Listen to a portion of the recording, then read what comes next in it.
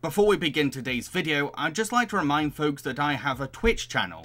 I usually stream live Q&As, quizzes, let's plays and much more. So feel free to follow me on Twitch to be notified about every single stream I do. Howdy folks, Jambareeqi here. In today's episode of Puppet Panic, things are going to get very nostalgic for my British viewers. I'm going to be taking you all back in time to talk about classic TV shows that utilise puppetry. Now, keep in mind that the UK has produced many, many, many, many puppet TV series, so I can't talk about all of them. If I did, then this video would be about 7 hours long. With that in mind, if one of your favourite puppet shows doesn't get mentioned in this video, please don't take it personally, and please don't assume that I missed it. This also won't be the last time I'll be covering this topic, so don't worry. Okay, let's get the video going already!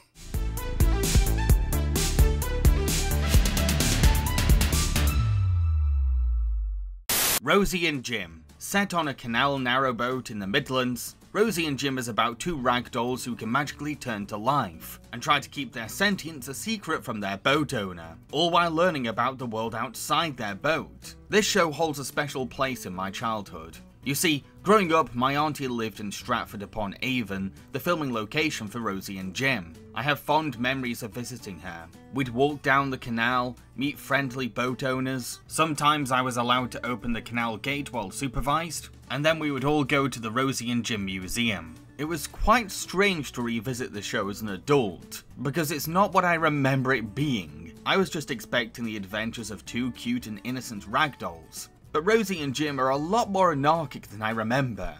There, lots of nice flour. Making a trail, Jim? Come on. Oh. One left. That's our trail, Jim. Oi, you lot! This is the way! They're like Beavis and Butthead as puppets. No, really. They constantly snicker at nothing, turn everything they see into a joke, and can be an inconvenience to others. You may be wondering if that's a good or bad thing. I mean, how can characters like this be ideal role models for kids? Well, as silly as they are, they often do have good intentions. It's just that they can't approach anything without any maturity at all. Basically, they're the very definition of chaotic good. I guess what they can teach kids are the consequences of not thinking before doing something. Rosie and Jim will frequently try to help or support the boat owner, but they'll always end up going about it the wrong way, and the results are often quite messy. How on earth did that cake get there? Kids will really enjoy their cheeky antics, but I wouldn't blame parents for being disapproving of them. Because they're very mischievous, cause annoying problems for the harmless innocent boat owner, and don't really take accountability for their clumsy actions. Personally, I find these two to be hilarious. Maybe I'm just a juvenile person, but they really did remind me of a pair of teenage stoners.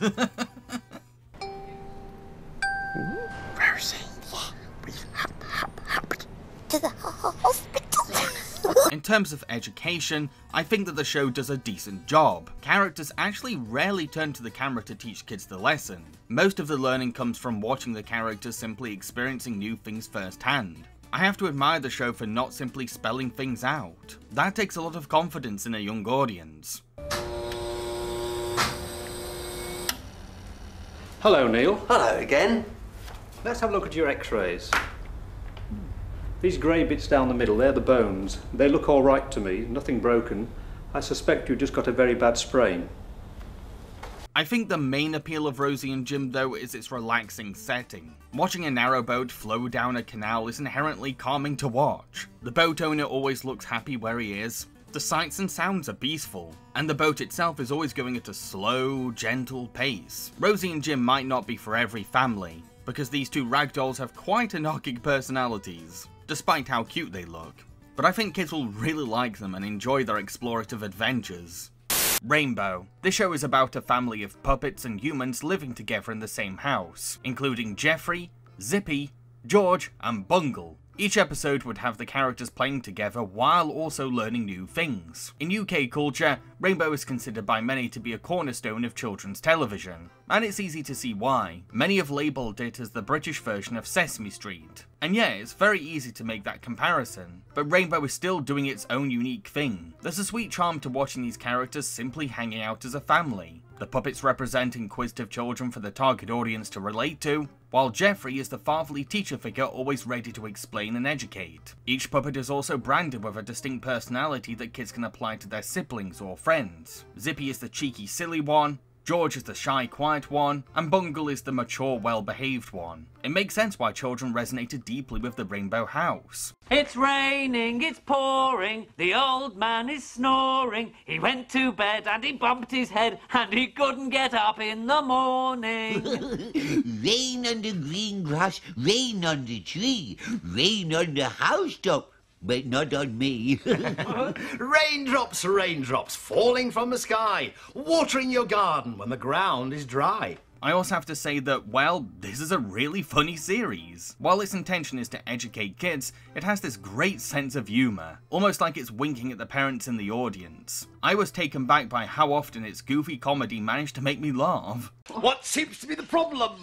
Well, I can't find my way home, I'm lost. Oh, lost? Dear, oh dear, oh dear. Well, don't go talking to strangers. Try and find a policeman if you can. But I have found a policeman. Oh, uh, say that, sir. Fun fact too, during rehearsals, the cast would perform more rude versions of a scene, and the cameraman actually filmed them for laughs. I'm not kidding, you can find the clips online. Do you want to blow my pipe while I'm twanging away? Oh no, Rod. I was blowing a lot with Roger last night. It doesn't matter what size your twanger is.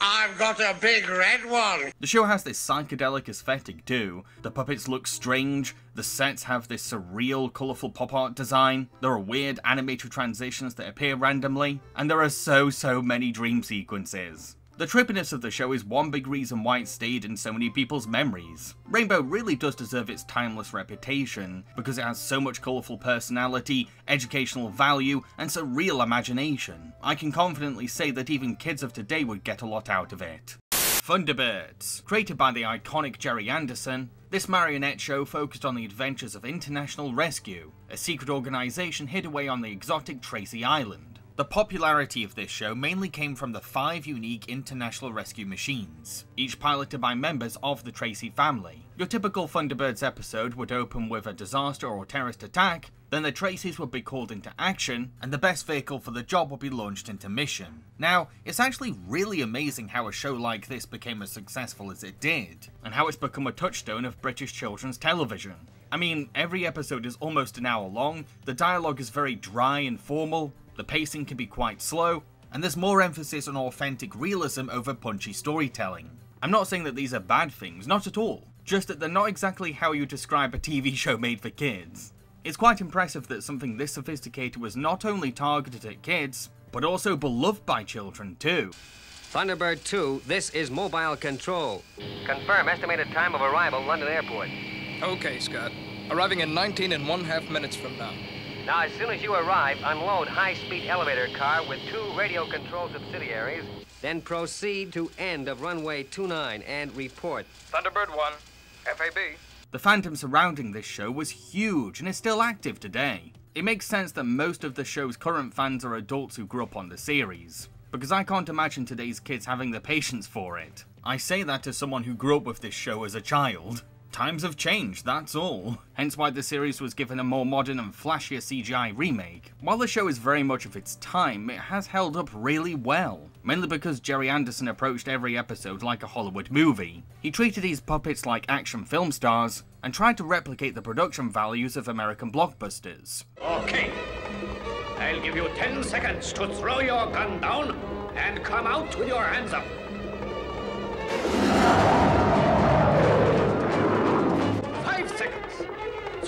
Gun, or the professor will be pushed in front of the express. There's an inherent charm to how Gerry Anderson used miniature sets, tiny props, and marionettes to tell the kind of stories you'd see in live action films through puppetry. The puppets themselves may have glazed over expressions, yes you can clearly see the strings, and of course the crew obviously struggled with their limitations, but that's what's so endearing about Thunderbirds.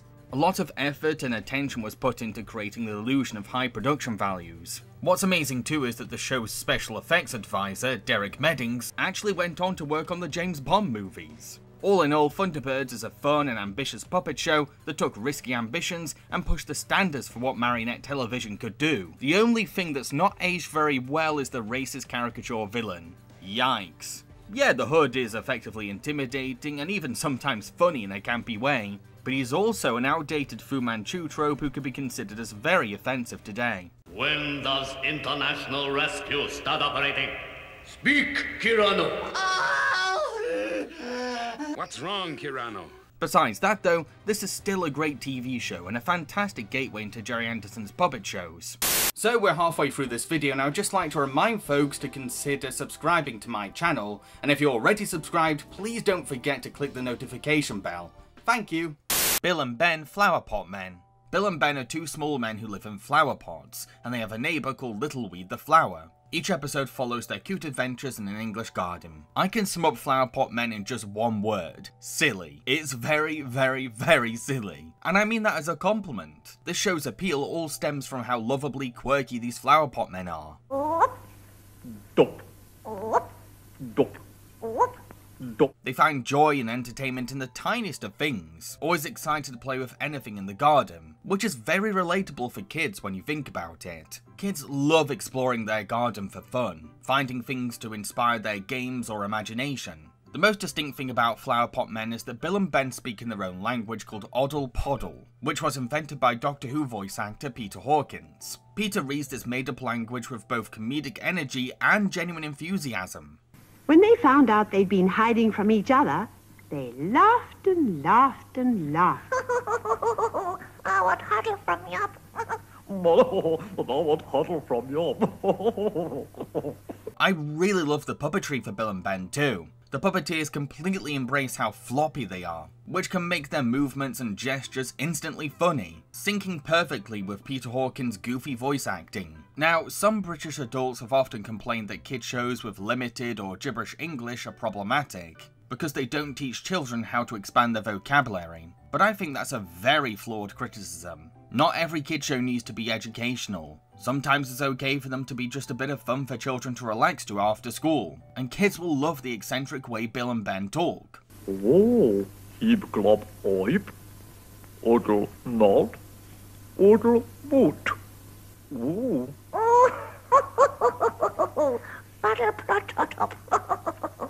I think that there's also something deeply ableist about this criticism too, because not all British kids can speak fluent Queen's English. Some kids are on the autism spectrum and can only communicate through emotional noises or have selective mutism. You can really tell that this criticism came from neurotypicals. Bill and Ben can be seen as great role models for autistic children, because they have their own way of talking, and the narrator accepts it as normal. To me, that's a beautiful way of looking at this TV series that makes it more than just a silly show about marionette flowerpot men. Oh, and yes, I know about Cosgrove Hall's reboot of Bill and Ben, but that was done with stop motion, so I don't consider it relevant to this video.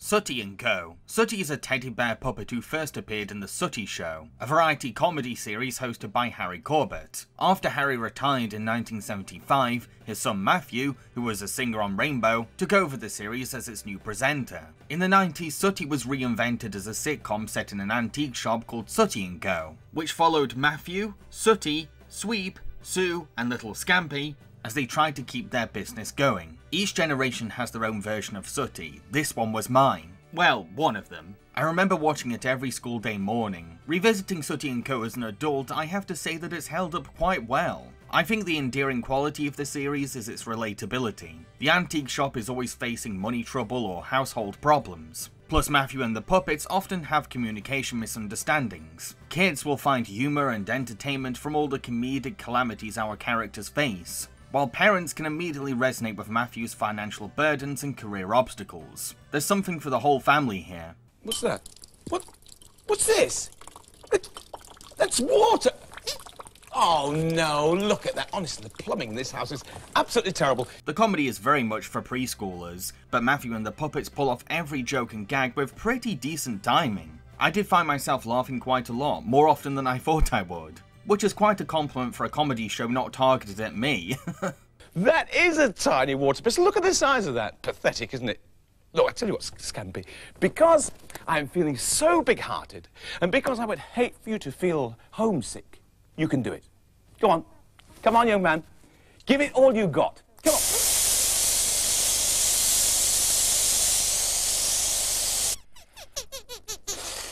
Matthew Corbett was a very unique children's TV presenter too. While most hosts would be your typical soft-spoken teacher figure, Matthew gave his television persona a more human depth. He could be erratic and anxious, cross and grumpy, but also gentle, loving and relaxed. There was an everyman appeal to him too. His character is a typical northerner with a sense of sarcasm, the perfect straight act to play off a bunch of silly puppets. Kids love seeing hapless adults being wound up or humiliated for laughs. It's another note. Beware these premises are protected by anti-burglar devices. That dog has finally lost his marbles. These premises are not protected by anti-burglar devices. Ridiculous. I also enjoyed the chemistry between Matthew and Sooty. You see, Matthew himself puppeteers Sooty, so he's having to multitask between his own physical acting and the hand movements for Sooty. The way he does both at the same time is really impressive, whether he's bouncing off Sooty in a cartoony comedy gag, or having to do different things at once. He'd been doing this franchise since the 70s, so it's no surprise that the shtick had become a natural instinct from at this point. Hey, this is very exciting. Our very first delivery. Oh, look at that. Oh, I tell you what, Sooty, whatever it is you've ordered, you certainly seem to have got plenty of them. Uh, Sooty, come back here. Uh, what is it exactly? You're a bit busy. Uh, Sooty and Co is a pretty solid sitcom series that the whole family can enjoy together. It's instantly relatable, full of good laughs, and a great showcase for Matthew Corbett's talent.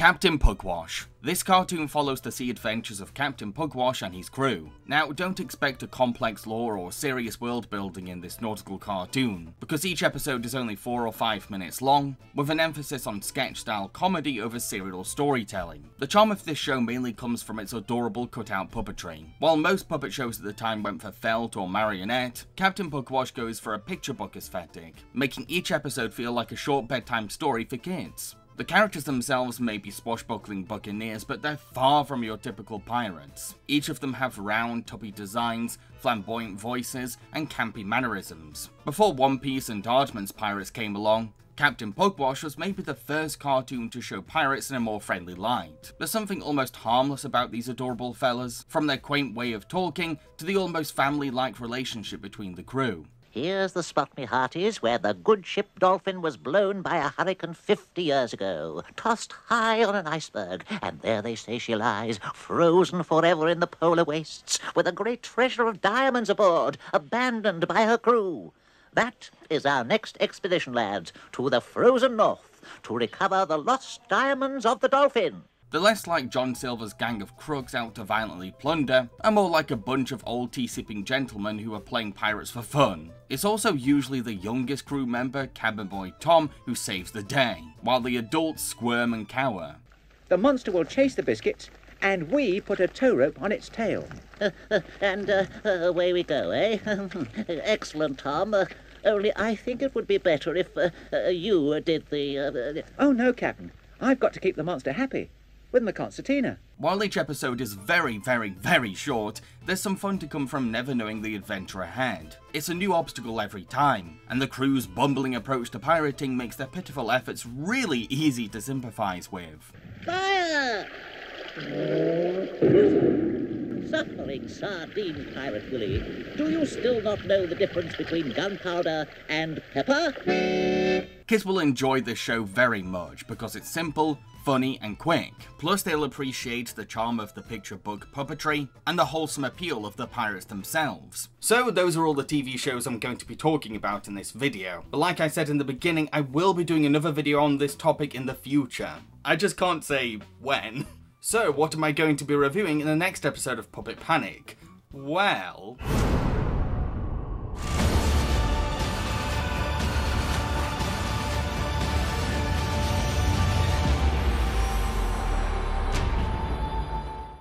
Cheerio, folks.